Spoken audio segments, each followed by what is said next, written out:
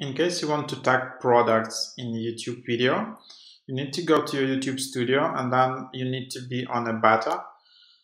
Um, because yeah, probably this program will roll out to majority of creators in the future, but right now it's just available to a specific set of creators. So then you just go to standard uh, like details, editing interface, and then here under subtitles and screen cards, you will just see products.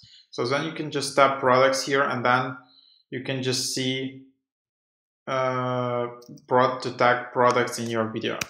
So of course it should be relevant and if you're mentioning something in your video or some product then it will have a higher click-through rate um, and uh, yeah just one every time when people click on it basically you will earn like 40 cents or something like that. So it's not like affiliate where people need to go to a link and actually purchase a product.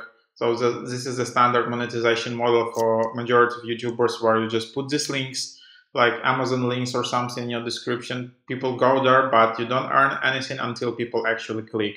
In this way, even uh, sorry, until people actually buy the product. In this model, even if people don't buy but just click, you still can, can earn some revenue as a YouTube creator.